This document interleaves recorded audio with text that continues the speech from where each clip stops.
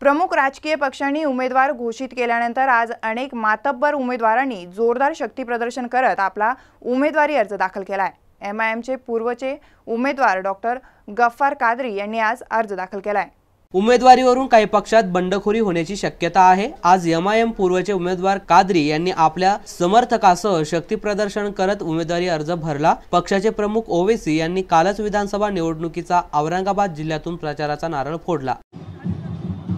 सबसे पहले बात तो ये है कि मजलिस इत्तेहाद मुस्लिमीन ने इस हल्के से ईस्ट मतदार संघ से मुझे नामजद किया है, अधिकृत उम्मीदवार बनाया है। इसका उत्साह, इसकी खुशी हमारे कार्यकर्ताओं में भी है। अब सच बात तो ये है कि जब से बैरिस्टर असदुद्दीन अवैसी ने कहा है कि एमआईएम पक्ष मुसलमानों के पक्ष के साथ साथ दलितों का पक्ष है, ओबीसी का पक्ष है पिछड़ों का पक्ष है